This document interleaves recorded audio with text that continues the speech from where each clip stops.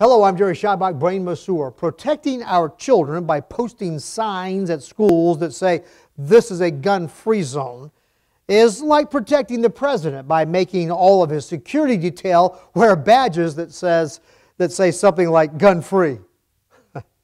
I'll tell you what, when the president is willing to trust that a 911 call is sufficient for his protection, well, that's when I will willingly trust that it is sufficient for mine.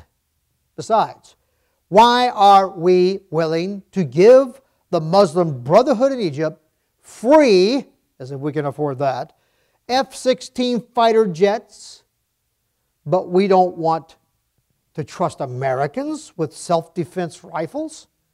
What is that about? Obama has suggested he wants to use Chicago gun laws as a model for national gun laws.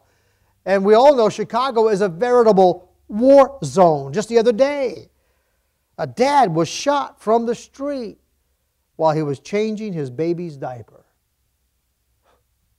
A law that says you cannot have a gun only means the law abiding won't have them.